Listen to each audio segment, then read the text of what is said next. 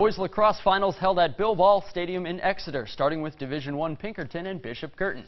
A heavyweight battle for lacrosse. Early on, BG sets the tone as the Cardinals score here, but Pinkerton keeping up, looking to avenge last season, and Pinkerton does just that, winning the D1 championship.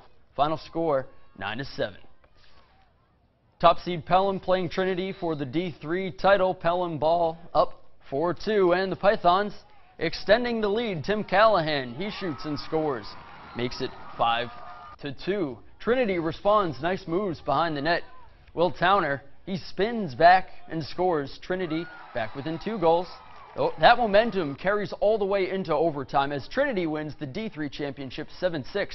Also today, a close finish in D2.